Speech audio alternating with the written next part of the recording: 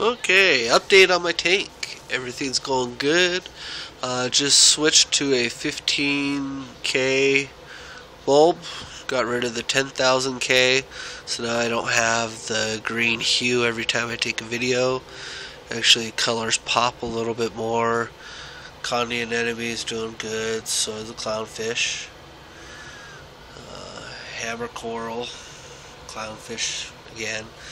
They kind of like the camera. They are doing a little dance. Uh, they've been enjoying the new light as well. Um, gives coloration in the tank, little pop, little glow to everything.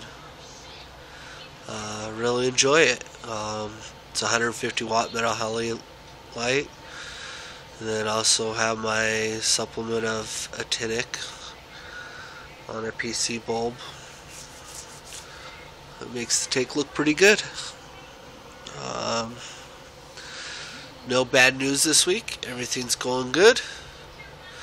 And look forward to making another video. I will update here in another week how things are going. As always, leave me some feedback. Let me know what you think. Let me know what you think of the new bulb and how it makes the tank look. And I'll see you next time.